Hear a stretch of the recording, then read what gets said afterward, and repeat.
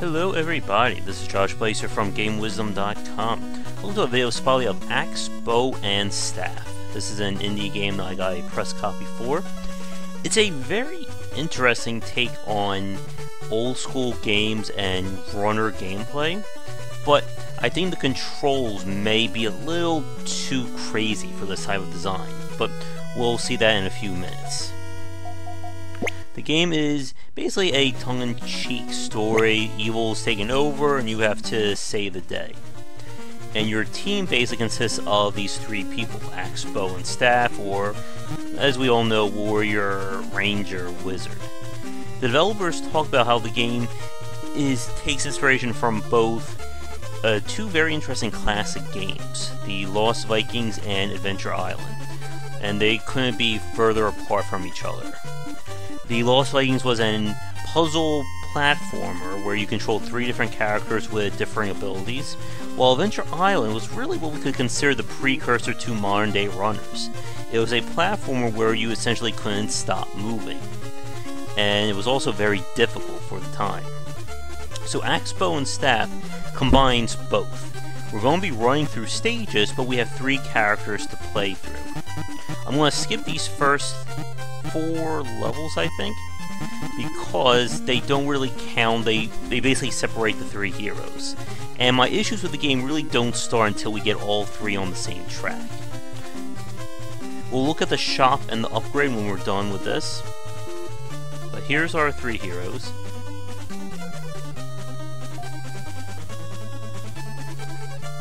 Now the game has essentially three characters you can play with, and you'll be switching between the three at any time. I assume if you play online, you'll have you can have up to three players at the same time, which I think is where the game is at its best, but we'll see that. The rules are pretty straightforward. We're going to be moving forward, always, as in a runner case. Each character has two abilities, and everyone talks through like little images. So this is when they're going to meet up. So the person who's in the front is the one whose commands will actually go into effect. Axe can bash objects and fight and block. Staff can heal the group from like negative effects and can move things. So the challenge of the game is that you're not just controlling the three characters, you also have to control their position. So you use left and right trigger. I think that's a bug. As you can see, it's controlling who I'm leading. And whoever's in front is the one who's going to do commands. But I can also switch characters like so.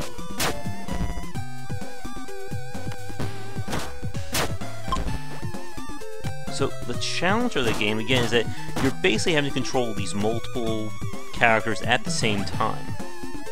Now, if we were playing with other players, they would control these as well. And you have these sections, they all split up. And the AI is actually really quite good. They, it knows to perform the right actions, it knows to dodge, stuff like that. So, as you can see. The problem, though, is that in the heat of the moment, it becomes very tricky to control multiple characters. As you can see, move them around. As well as their position. Now in this section, it's not too bad. But you'll see what happens once we get back to a one lane, three people in a group situation. There are checkpoints per level. Let's go with that guy. And the wizard's probably the trickiest character to play with.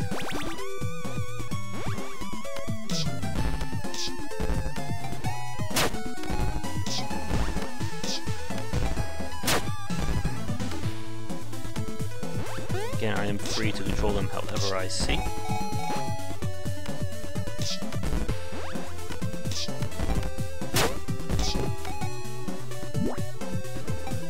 Oop, I don't know what happened there. Guess the I didn't want to do anything.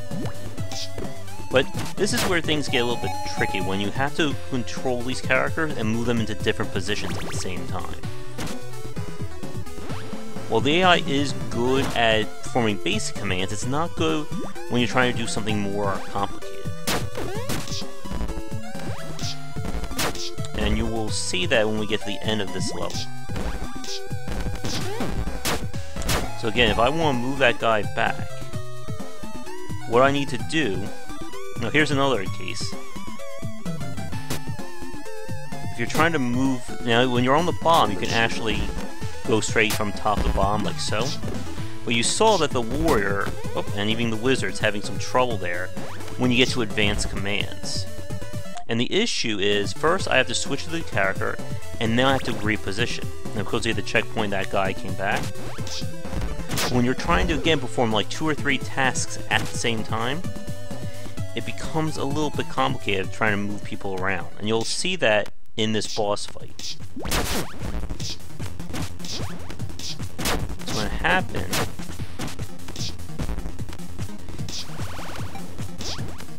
is he's gonna start targeting with that super rat attack. I gotta move him up here. But it's not just about moving them, you also have to make sure that whoever you want to make commands be in the front position. And when you're playing as just one player, it can become very cumbersome to do that in rapid succession. I would almost suggest, if you're playing single player, that whoever you're controlling should just be in position 1. When you're playing with two or three other people, it's not too bad. Now characters will level up, and then you unlock new abilities when they hit certain tasks up here. Or I'm sorry, certain experience points, and then we can also buy new stuff, and it gives a pretty good sense of meta progression. So let's see if we can buy.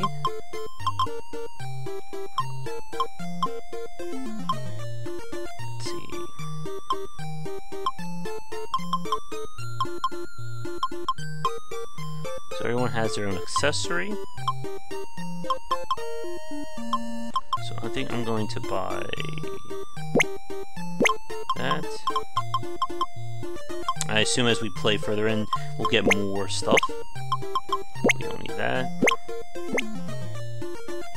And the game does do a good job of this kind of progression. But in this level, as we get, now that everyone's been officially added to this party, we'll see some of this difficulty.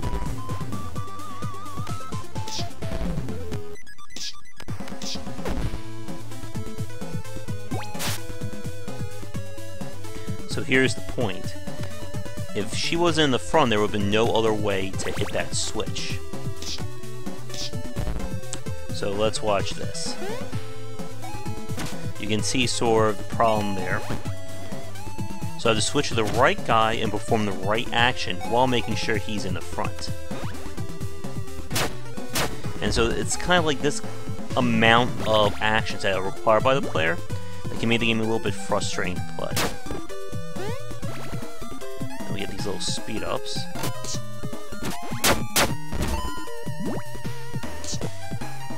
Oh, and because he lost, he'll be dead until we can come back. And because the AI can sometimes take priority like that, it can also become difficult trying to organize and make sure you're using the right character. See? So he'll come back.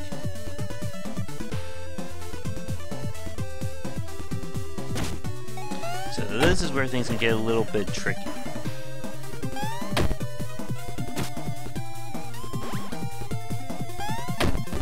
Again, the character took priority.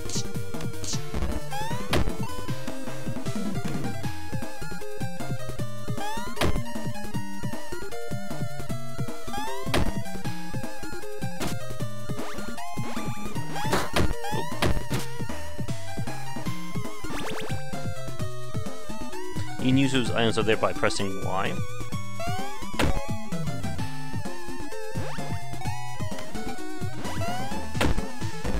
Like right there, when I want to push up, I would want him to just immediately take over. Like, the character, when you're single player, should basically be given priority, I think. Just to make it easier to control.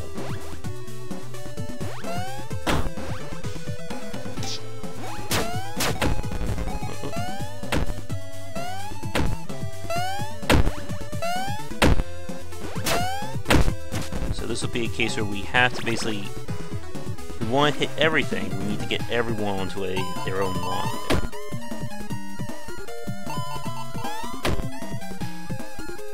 I'm going to keep adjusting, you can see. Uh oh.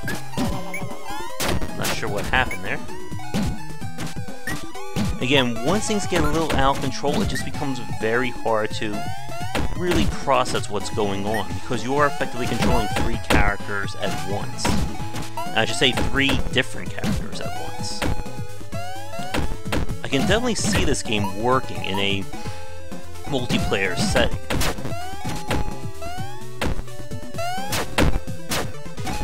But single player wise, it is a little frustrating to again having all these different things getting in the way, like as you can see right there. Checkpoint, again I have to manually adjust this.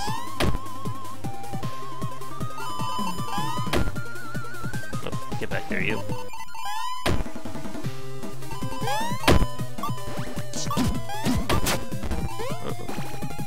When that hits, well, if you get your speed high enough, you actually get a super speed boost. There we go, turbo mode. May last until the end of the level. Or pretty far in. Oh, nope. But again, playing as one person, the controls are just a little too cumbersome for one person to basically do it all themselves.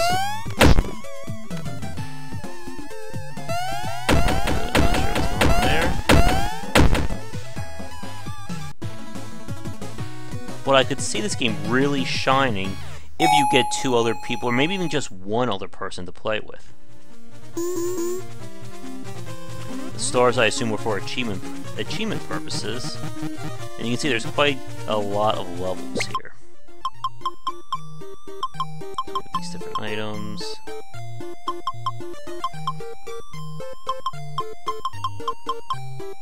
So maybe this time, I already bought all their basic stuff.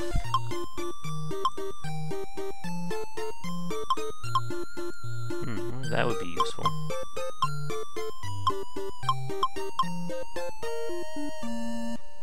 Okay, so I will buy this. Huh.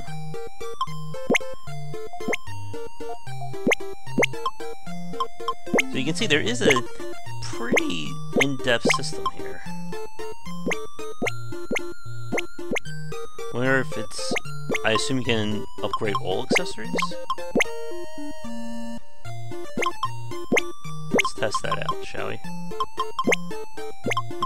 They must only be weapon kind?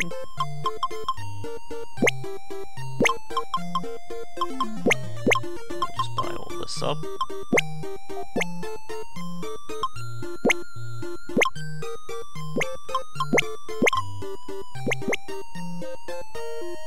There we go. So Axe Bow Staff definitely isn't a bad game, but it definitely feels like this is a multiplayer game first, rather than single player.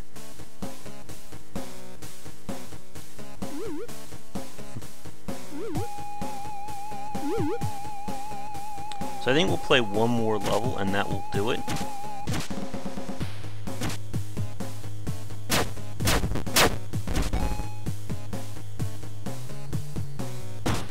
Sometimes you get like that critical hit there. We must have picked up some food. So again, we wanted to defend against that, I would have to um, have moved shield back, or axe back into the front.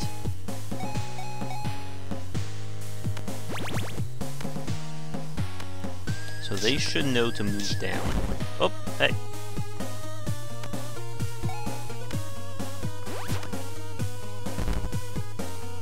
Gotta pick up these coins in order to get the best ranking. There it is again, like, it's annoying that I lose priority sometimes based on where I am in relation, as you can see.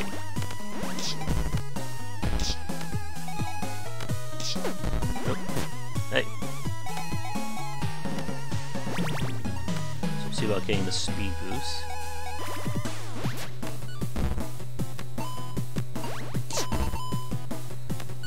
It almost feels like it's best to control um, staff, just to how technical playing him is.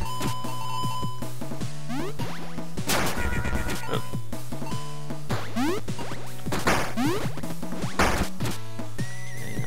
Back.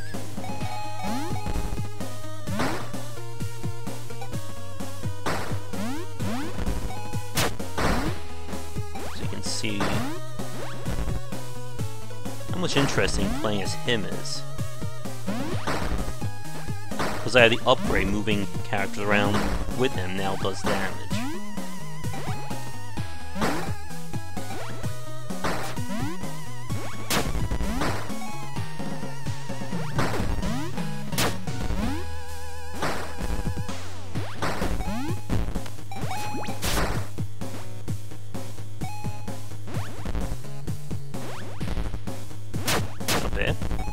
But I do like this kind of elevated take on running, on on sort of the runner genre, and even on like that old school play.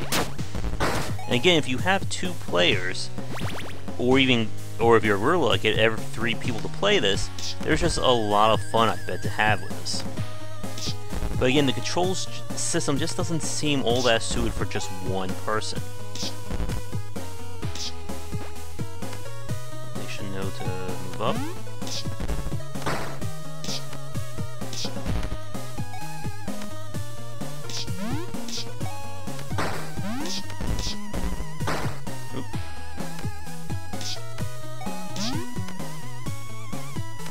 And you can see by our little progress bar at the top, we are coming to the end of this level.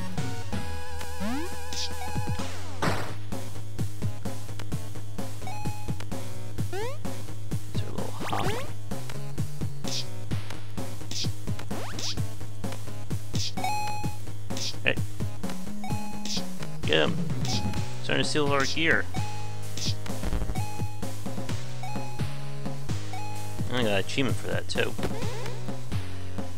They gave us a free accessory. Normally she can jump over obstacles, but we'll try and keep her alive.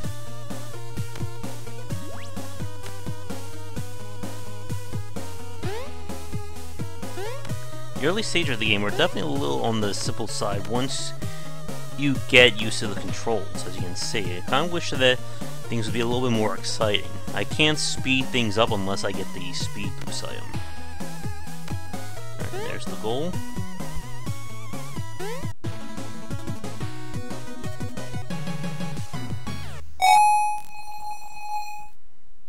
Alright, so he's the first one hit level 4, so we actually have two choices.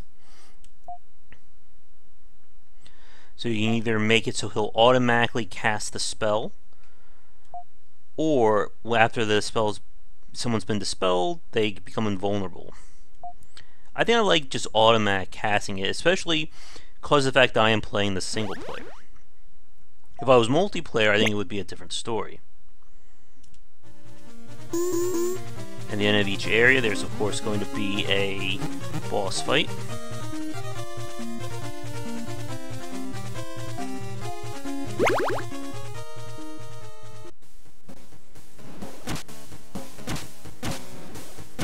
Yeah, not too bad. If you're a fan of running of the running genre, there is a lot here to enjoy, especially if you have multiple people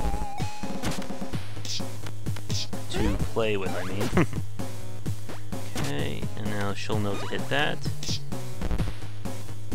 You can see characters are leveling up, and as a good uh, touch by a developer, your coins and your experience are not tied to basically a level. So I can replay levels to get more experience or more gold if need be. So that way, if you are having trouble with the game, you can uh, get around that. Here we go again. I need to organize so.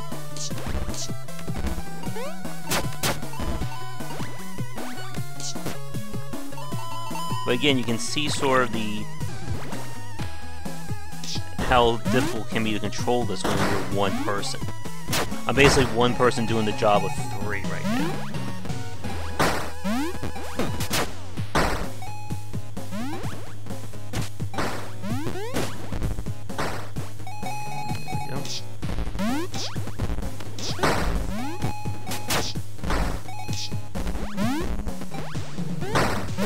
Thanks, thanks, Wizard. The Wizard is a jerk, I think. Hmm. oh no. And then you have cases like that when the... There are times where the AI will kind of lose control there. there.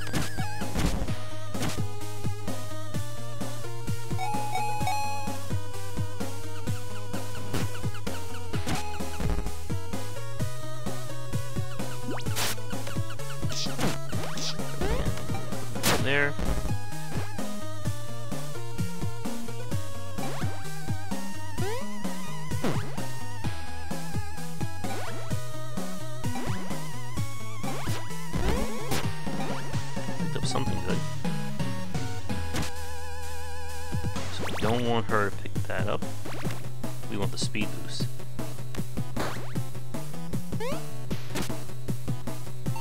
And then sometimes you get locked into certain areas.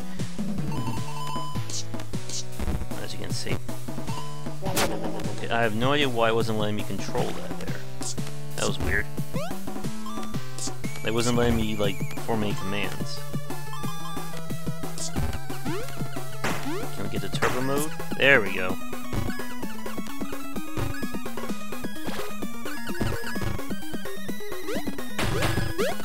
Get my way.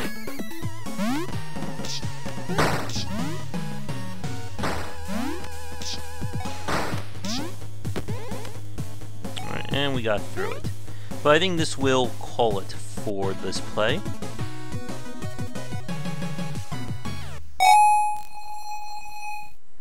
So they leveled up.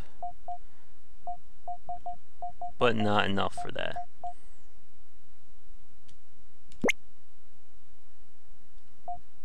Oh wait, here we go. Poison or pierce through the target? I think pierce. Hmm, that's weird.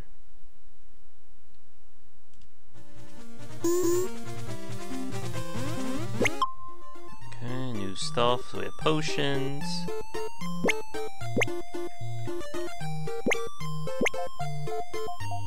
Hmm.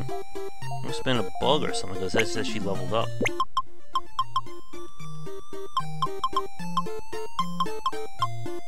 Alright, but I think that's going to do it for this play of Axe, Bow, and Staff. Again, if you're a fan of the runner genre or have two or three friends who also enjoy it, I think this is a great game to pick up, but keep in mind it can be a little cumbersome to play with just one person. It's currently available, I believe, on Steam now. I can actually, I think I can check the store page. Give me one second. Do do do.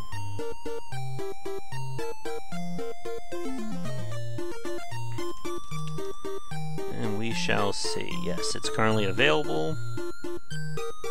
And it is on early access right now. So they're going to they're trying to get a new game plus mode, multiplayer racing and versus, and expanding on the game. So yeah, if you like what you saw, be sure to check it out now while it's on early access, or when it's finished, which I think they say they're looking for like a few months of it, but I'm not sure like, you know, if things have changed since they put that up. But anyway, thanks for watching this video spotlight. If you enjoyed it, be sure to leave a comment and of course like and subscribe to the channel. It always helps out. Check out game-wisdom.com where I examine the art and science of games. Follow me on Twitch and Twitter under GW Bycer for the latest updates and new content. And you can find me on Patreon under Game Wisdom. Donations would be greatly appreciated. They'll allow me to keep doing what I'm doing while supporting myself. If we can hit some goals, it'll mean more content for you fine folks to enjoy. And we have some great rewards up there now. Thanks a lot for watching this video spotlight of Axe Bow and Staff. Once again, it is on early access. So that means that there is a chance that things you see here may not be indicative of the current version. But anyway, hope you enjoyed the video, and I will see you all next time. Take care.